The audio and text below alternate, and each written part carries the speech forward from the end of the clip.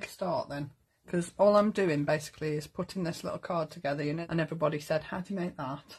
Um, I have done one of these before, but I thought I'd just update it a little bit. Um, I mean, they are so simple, but they're so effective. Um, so I thought I'd just do it. So I've done all the stenciling and everything for this. So let's let's just put this little, um, I don't even know what you'd call it. It's like a panel box card, I suppose, but um, it's a little stand-up card and it looks so cute with this little mushroom house on it. So let's just move that out of the way and let's just go straight into the measurements. Hope you remembered your pen and your paper. Um, so you're going to need, for this little card, two pieces of card for your actual base of your card. Your first one, now these are all in centimetres, so your base piece of card needs to be 28.5 by 14 centimetres. And you need to score that at 14, 18, 23 and 27 centimetres. Alright? And then you just need to fold and burnish those score lines, which obviously I've already done. And then what you want to do is secure this piece to the back piece. And the easiest way is just to fold this piece of card in half and glue this, this one couple of centimetres strip down to the back of this card. So I'm using Lisa's glue because it's the best glue I've ever found. And then all I'm going to do is just fold that down and just burnish that, that little fold line so that I'm just sticking that piece of card down to the back piece so that when you stand it up it's already standing up on its own okay? That's so simple. It, it's just so easy. And then your second piece of card which is going to give you your panel at the front needs to be 15.5 by 9 centimetres and you're going to score that at 10 and 14 and a half. So you've got that little fold line there again to give you your where you're going to fold it and fold it up like that. Okay? But you're not gluing this to this piece of card what you're actually doing is you're putting that panel on there and you're gluing this to the back piece of card okay so again the easiest way to do it is glue your piece of card to your first fold here and fold this over like you did on the first piece and glue it to the back. See what I should have done was put this paper down on here before I glued this piece down. So now I'm going to have to change this and cut this down a bit. So I'm just going to make a little pencil mark there and a little pencil mark there and I'm just going to cut that because I should have stuck it down first and I didn't. If you're making this at home and you cut this piece of paper, make sure you glue it down onto your card before you start. Because it makes life so much easier. In your designer papers, this piece was measuring 13 and a half by 10 centimetres, okay? But it isn't now because I've cut it down because I did it wrong. I can still save it. That's the important thing. And the reason I would I would put this piece down first and put it behind this is just to give it a little bit more security and it, it just it would just look better I feel. Right, I've put that piece down and I'm going to decorate all my panels before I do any more gluing. So my other two pieces, and these are all from um, box kit 1 I think, my other two pieces are 13 and a half by four and a half centimetres and that's going on the front. And then this piece is 13 and a half by three and a half centimetres and that bit's going on there like that. Okay? So let's put all those down and then you can see my other pieces are contrasting pieces to go on the the other panel piece that I'm going to add to the front it's such a simple card that it is just it's obviously very easy to make mistakes so there's my, my first piece. Okay, that's the base of my card. Alright, and then this piece is going on the front. But I'm going to add my papers before I do anything else, and then I can't do anything else wrong. So this piece that goes on the front panel is 8.5 by 9.5 centimetres. Okay. I'm going to pop that on the front like so. And then this piece here is eight and a half by three and a half centimetres and that's going on that top piece there. And then we can put this piece together to give us our little panel on the front. So I'm going to put that piece on there like so. these papers are so pretty but obviously you can use whatever papers you've got. Now I do think that if I stand that up it will work. Let's glue this bit down first. I'm going to put myself two little pencil marks like I did before just so that I know where I'm gluing. Okay, can rub those out later. And then I'm just going to add my glue down onto my papers here rather than onto the panel and then I won't go above where I need to be if you get my drift. So I'm going to pop this down on here. It's going level with the bottom of the card like so. Move it over a little bit. Try and get it as central as you can and then it'll look better. Now then, if I stand that up, yes it will. I'm going to, let's just keep my fingers crossed and hope that I'm not talking through the top of my head. Add your glue to your little um, couple of centimetre flap here and do exactly the same as you did on the first piece of card. Glue this straight down onto the back and hopefully it will work out right. There you go, see it does work. So then your card will stand up like that, okay? And then all you need to do is put your little mushroom house on the front, like so. Isn't this cute? And the colours that I've used on here are Sugar Candy, Shocking Pink, Straw Hat, Margarita, Eucalyptus Leaves, and almond frosting and I think they're beautiful colours. I think I, I really like those colours, I think they're smashing. So I'm going to 3D this little house onto the front of that card, onto that panel. I mean, how quick and easy, despite the mistake, how quick and easy is that card? And then my sentiment is from the um, foiled and plain sticker sentiments and then that can go just across the top there. I'm not going to 3D that one, um, primarily because I want to get onto the Leafy Flourish card, which was the main aim of today's live. So I'm just going to pop this on the top here. And I've backed it onto some card to sort of um, make it stand out a little bit. And I've chosen a card that sort of fits in with the colours that I've used on the on the house. Okay. It will stand up. I've used Lisa's extra smooth um, white card for this. Um, but I just think it's such a cute little card. I just think it's I just think it's smashing. If you find that it won't stand up, what I did on the last one, because I had the same problem with the last one, what I did on the last one was I just added an extra piece of card in here along the back. I have done that card before and it, it's in in our YouTube channel. I couldn't find it the other day. It, it's very very similar, um, and and the mechanism of the card is just so easy. So you know it, it is there, and they are really really quick and easy cards, and you can just add whichever whichever image you want on the front. You could even use one of the flowers, you know, the wildflower spray would look good on something like this. And what I would do if you were using something like that is make that panel a little bit wider so that your wildflower spray didn't look too out of place. But any of your any of your layering stencils with your flowers and dies and things would look equally as good on the front of that.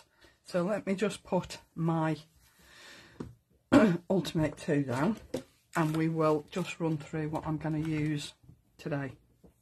So obviously I'm using these. Oh my days. These are fabulous. You remember the large foliage that Lisa bought out ages and ages and ages ago, one of her first die sets that she bought out. Um, and you all know how much I love that. I find this a very similar um, concept, and the shapes of the leaves and everything just they just sort of, for me, mirror that set really beautifully, and I I love it. I know I say that about everything that Lisa brings out, and I know you're all thinking, here she goes again. This one's a favourite. How can it not be? I I can't help it. If Lisa brings out something I like, I have to say I like it, and I adore this set. This and the heart stripes.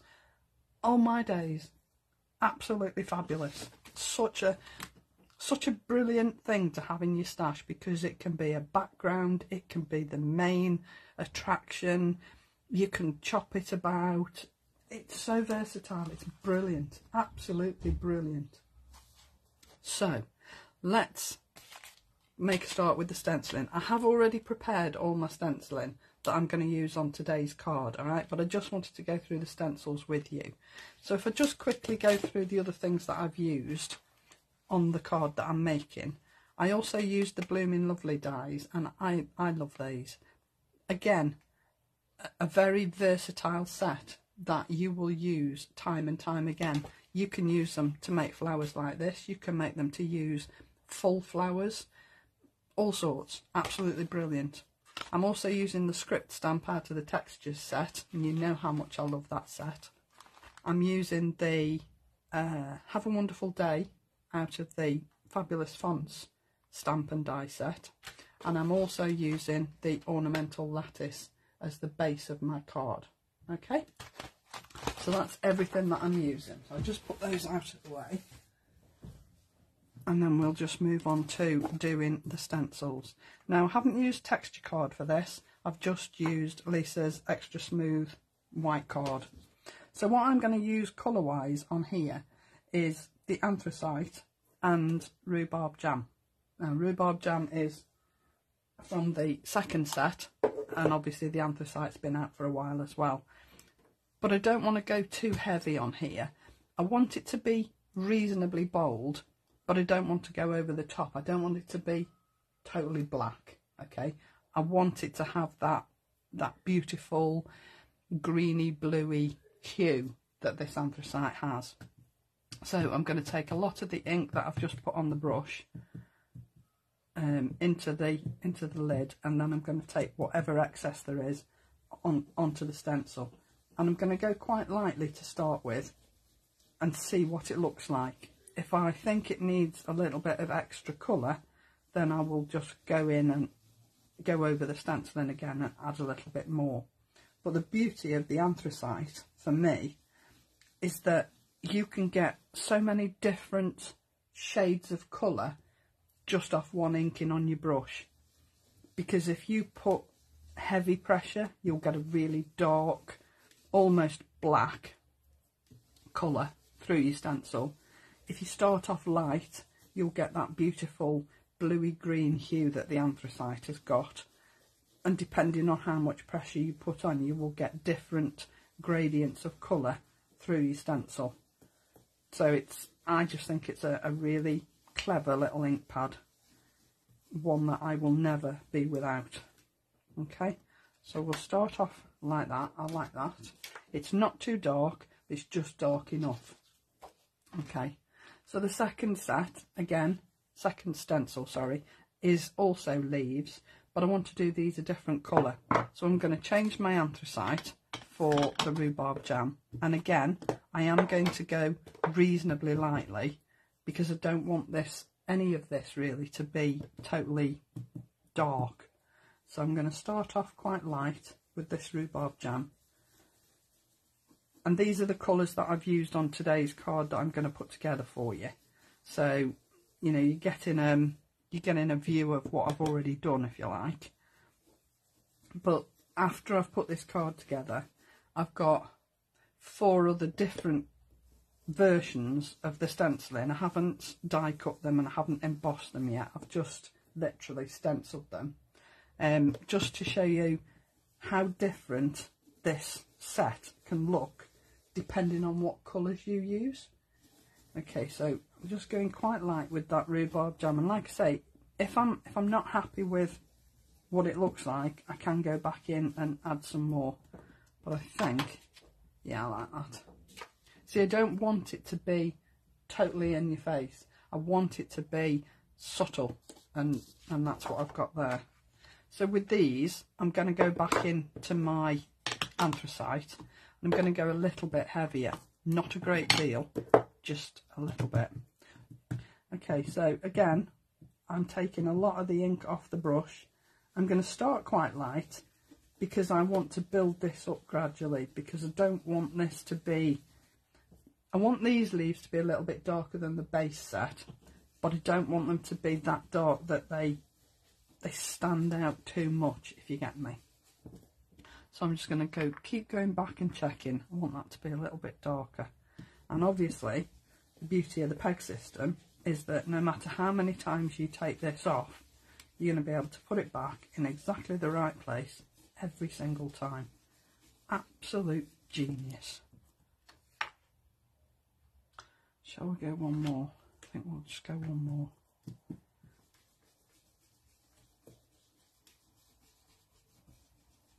Okay, I think that'll do. Yeah. See, it's different to layer one, but it's not so different that it stands out too much.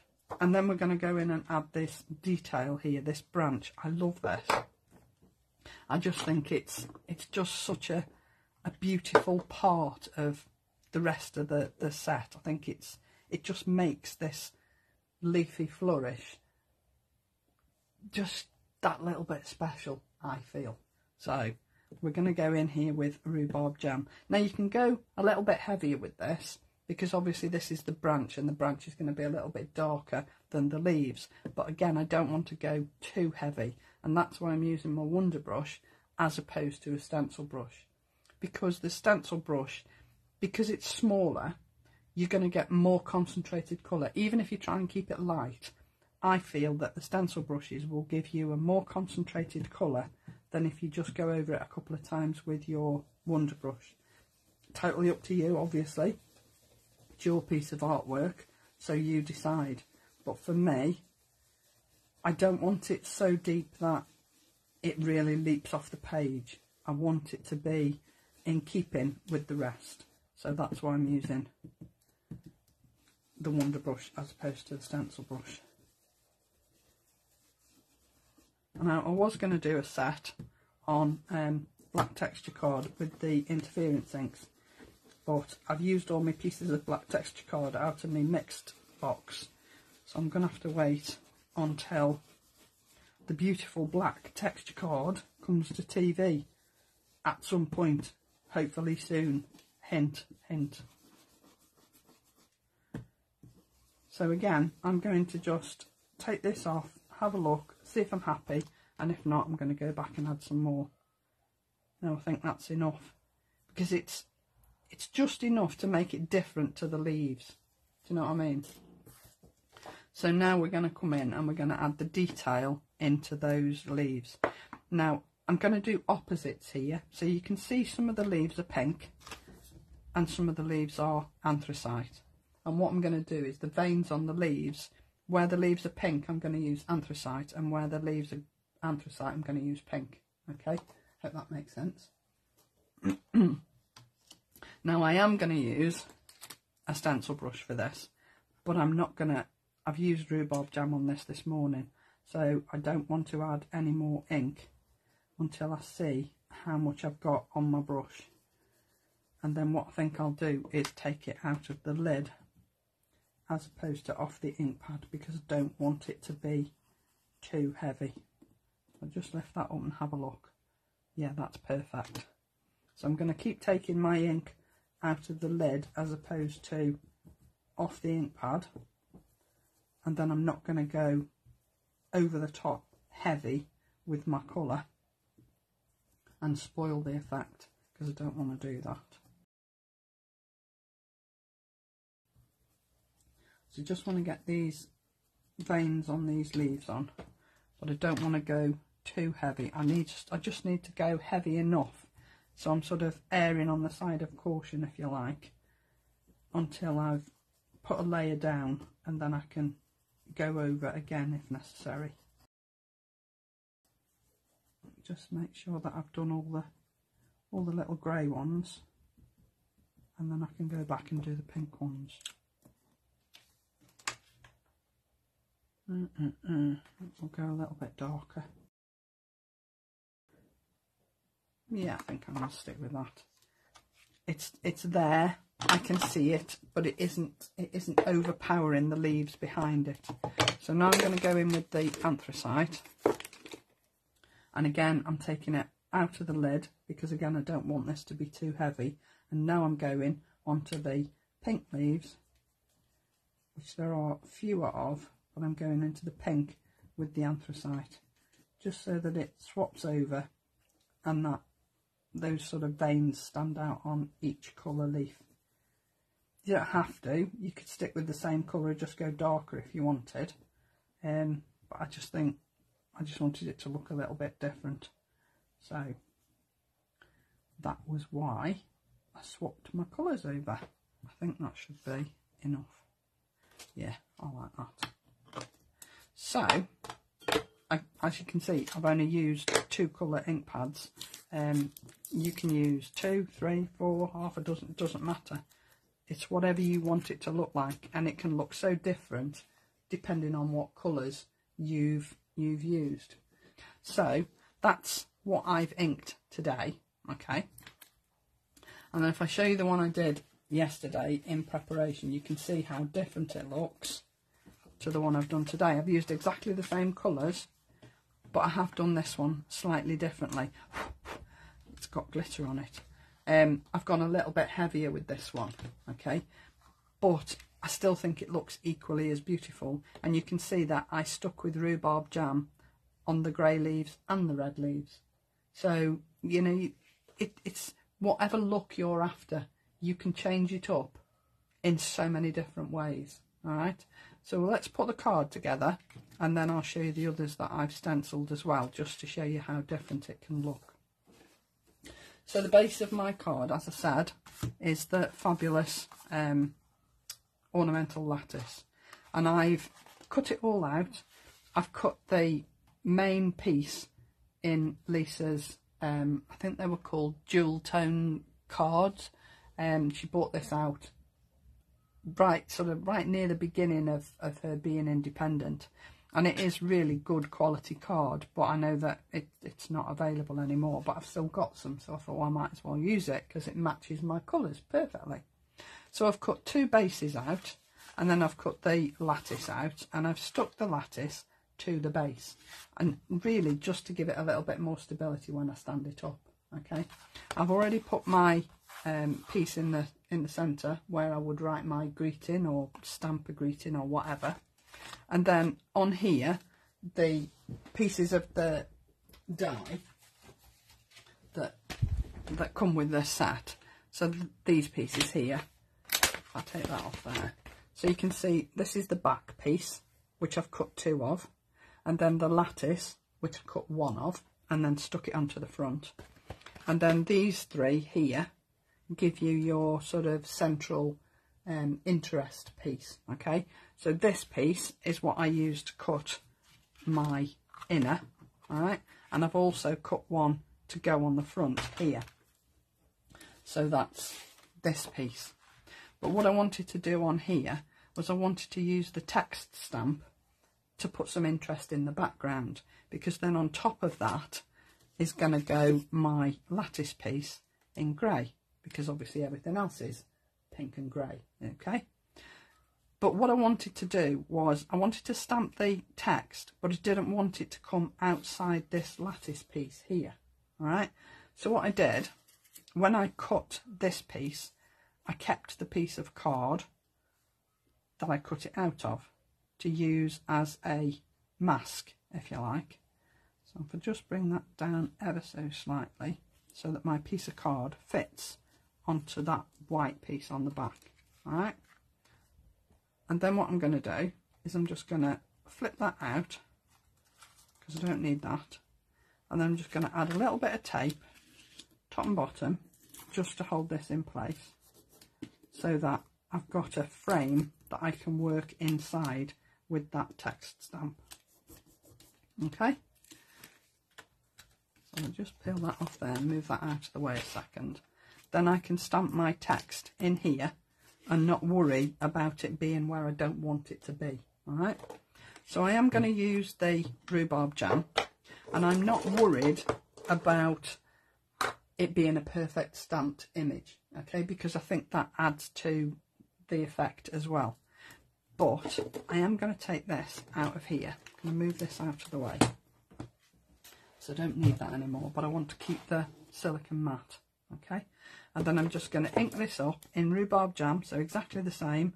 Um, still using the, the blending ink pad because they do stamp really now, really nicely. And then I'm just going to add this across the back here. And as I say, I'm not worried about it being a perfect image. It doesn't bother me. I do want a little bit, I want it to go right to the edge. So we'll try and get it as near to the edge as we can. It doesn't have to be perfect because obviously you're going to put your lattice over the top. So it's just to give it a little bit of interest in the background really. Um, just for something to look slightly different to just a bare lattice piece on a white background. And then just fill that last little bit in. And by keeping that grey frame around the edge, I know that I'm not going to go where I don't want it to be. Just fill that little bit in there. Okay, that'll do. So you can see it isn't perfect, far from it, but it doesn't matter.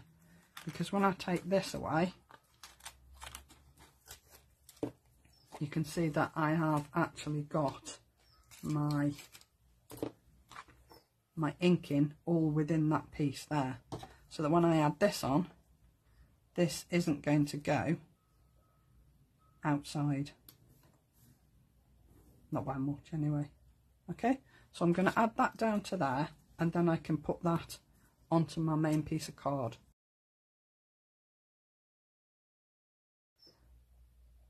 But it's it's such a fabulous set that you can you can mix with what you've already got.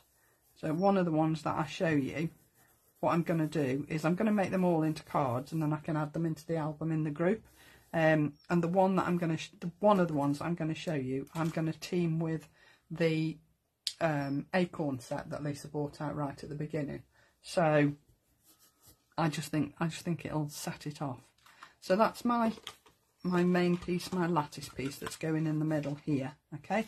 And what I want to do is 3D it.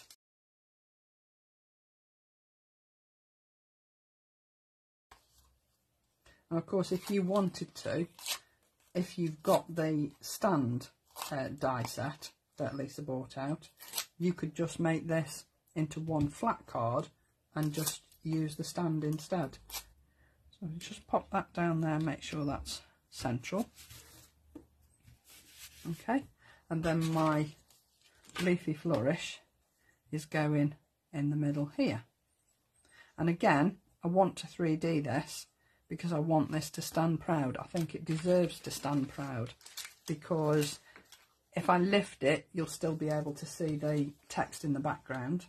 Um, and I just think it it's just so beautiful it deserves to have take centre stage if you like. Now I know on the package it's like that but I actually really like it upside down. Um, so that's how I'm going to use it. And it's just going to hang off the edge of that frame alright? Like so. And then this is where my blooming lovely flowers come in. I decided to use the anthracite and the rhubarb jam and colour the flowers and I've just put them randomly together to make a a larger flower. And I'm just gonna I'm just gonna pop two lots of pads on here just to stand this up a little bit higher than the rest. And you can see in the middle I've actually used some of Lisa's kaleidoscope glitter. Again something that's been out for absolutely ages and doesn't get much of an airing so I thought I'd use it today just to lift that flower a little bit. So that's going on the top there like so. And then all I need to add is my sentiment if I could actually find it. Anyway it says have a wonderful day and it will go across here because I want it at the bottom over this side just to sort of give it a little bit of balance. I was thinking up here but I think there's too much going on at the top already. So I didn't want to I didn't want to come I didn't want to go up the top. I wanted to come down here. So I might even put it in the middle um, rather than to one side. That way it might balance that flower out a little bit more.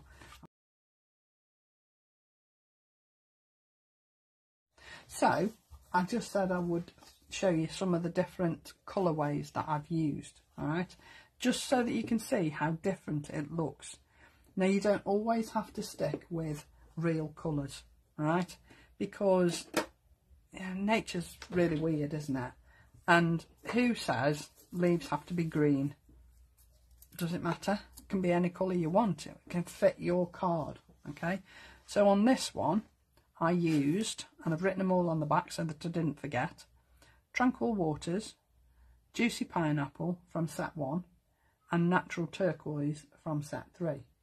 So you can see that they actually, all three sets, blend together beautifully. Okay, so that's that one.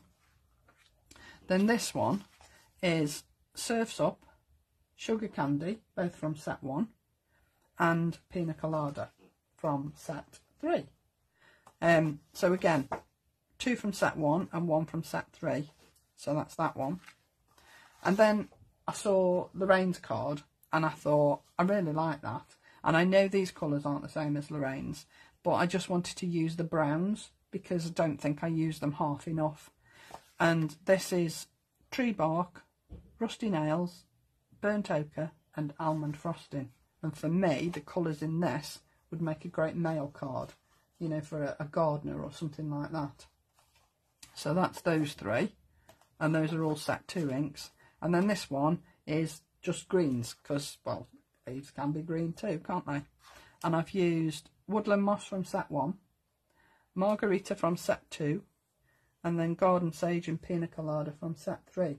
So you can see there that there are three different sets of inks, all blend together absolutely beautifully, and they they look stunning and you know so so different and i noticed that um if you go and have a look in the group tina's put one in the group this morning and she's added little flowers. And i'm sure they're probably four point bloom flowers because i know tina loves that set um and she's just added them randomly in different places and i thought it looked really it really lifted the card. It looked absolutely beautiful. So there are five different colorways six if you count that one because it's slightly different to this one. And then of course we've got the little mushroom house card to go as well. So those are today's cards and the different stenciling colours just to give you some ideas. So thank you very much for joining me. I really appreciate you taking the time out of your day to come and spend half an hour or so with me. So have a fabulous week everybody and I'll see you soon. Bye now